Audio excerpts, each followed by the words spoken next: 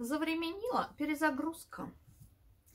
Примером события может быть влюбленность, встреча или революция. Событие, ты Бог, творящий время, структурирующий новые миры и новую меня. Холодно и неуютно в жерле событийной воронки. Хладом тонким бурлит энергия творения. Ты думаешь, что никогда не сможешь увидеть, как оно было, начало нашего мира – а нет, встреча с событием позволит тебе почувствовать на своей шкуре и, конечно, внутри своей шкуры, как оно бывает, какой силой и мощью создаются новые миры, а затем и опознать, осознать ретроактивно после.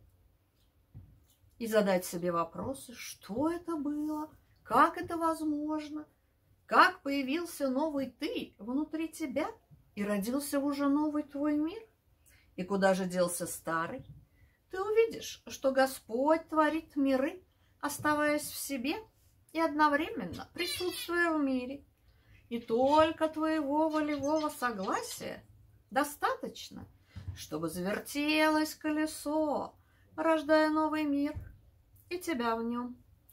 О событие, о творчество, о Бог! Завременила перезагрузка.